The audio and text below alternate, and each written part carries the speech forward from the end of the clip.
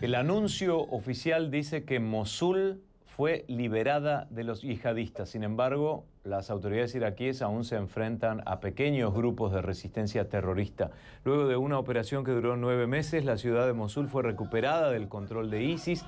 El problema es que la segunda ciudad más grande de Irak quedó libre, pero en ruinas. Ahora, el primer reto para el gobierno y las organizaciones internacionales será proveer de necesidades básicas a más de 400.000 desplazados. Posteriormente se deberá reconstruir Mosul y se estima que esta labor podría costar cerca de mil millones de dólares.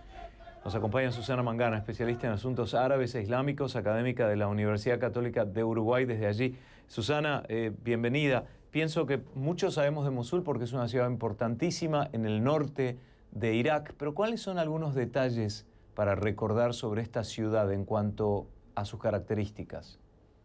Buenas tardes, Guillermo. Sí, la verdad que es una ciudad que siempre ha sido muy importante en el conjunto de ciudades y provincias iraquíes, donde además siempre hubo un floreciente comercio, es una zona de pasaje, es una zona de tránsito de mercadería de oriente hacia occidente, pero además eh, bañada por el río Tigris, es decir, es una ciudad que tiene también muchísima agua, eso es importante en territorios que propenden a, a ser desérticos. Por otro lado, también era la cuna de la comunidad caldea cristiana que se fue diezmando a lo largo de las últimas décadas porque el hostigamiento a las minorías religiosas ya antecede a la llegada del grupo terrorista Daesh o ISIS, con lo cual es una ciudad muy importante para Irak, eh, representa todo un símbolo el haber liberado de la presencia yihadista, aunque todavía quedan algunos conatos y focos de milicianos de Daesh allí en Mosul, pero yo sería muy cautelosa de hablar en tono eufórico, Guillermo.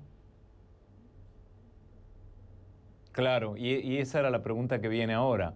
¿Qué significa que Mosul haya sido liberada para el poderío de ISIS?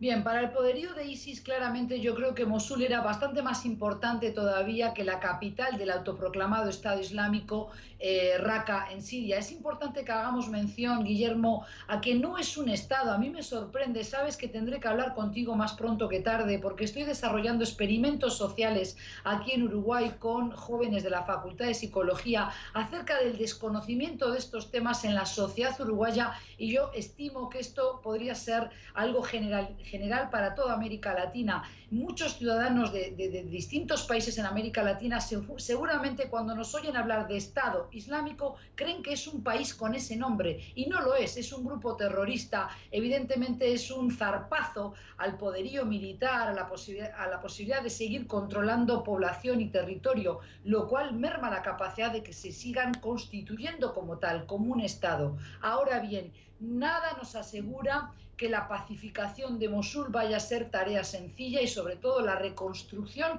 de una ciudad que está prácticamente en ruinas y sobre todo los sistemas de salud, eh, también el sistema educativo sumamente importante para que no se sigan perdiendo eh, jóvenes talentos iraquíes.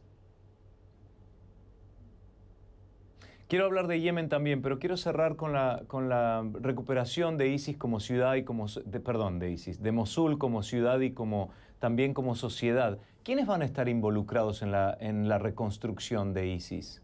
Ay, perdón, de Mosul. De Mosul. Por ahora es toda una incertidumbre, porque ahí vamos a ver ahora la carrera por el poder y el control político de la ciudad. Tenemos evidentemente las declaraciones, eh, digamos, un tanto grandilocuentes del premier, del primer ministro iraquí, Haidar al-Abadi, que responde a la comunidad chií sobre todo, pero tenemos también a los kurdos en la retaguardia, que son los que también han apoyado la liberación y han estado combatiendo hombro con hombro con las fuerzas especiales del de, eh, ejército iraquí, que han estado asesorados y apoyados todo este tiempo, todos estos meses, por militares y por eh, personal de inteligencia de Estados Unidos y previsiblemente también eh, de otros países en la región. Con lo cual ahora vamos a ver cómo se pueden restañar las heridas y toda esta fractura social y étnica que siempre ha sido el verdadero puzzle a mantener unido en Irak, también en Siria, vale decir. Claro.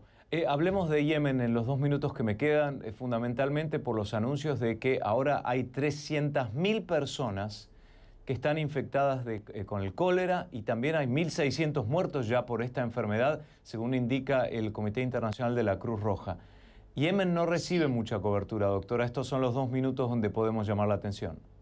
Exactamente, y te los agradezco muy encarecidamente, Guillermo, porque no puede ser eh, que queramos un mundo más, más justo, que, seamos sociedades cada vez más modernas, más informatizadas, que tengamos tecnología, teléfonos y gadgets 2.0 y sin embargo estamos siendo cómplices con nuestro silencio que mata día a día a ciudadanos que son seres humanos igual que nosotros y que sin embargo allí hay una guerra ignominiosa, una guerra vergonzosa capitaneada por un país que se nos dice que es aliado de Estados Unidos, vale decir también de las potencias europeas, por tanto, y sobre todo occidentales, Canadá, pero también podría ser Rusia, como es Arabia Saudí. Y yo creo que hay que frenar esta guerra donde están muriendo eh, estos ciudadanos yemeníes por falta de asistencia médica. Las ONGs que están en el terreno no pueden entregar la ayuda eh, no solo alimenticia, porque hay más de 26 millones de ciudadanos eh, yemeníes que sufren de inseguridad, insuficiencia alimentaria, si se quiere,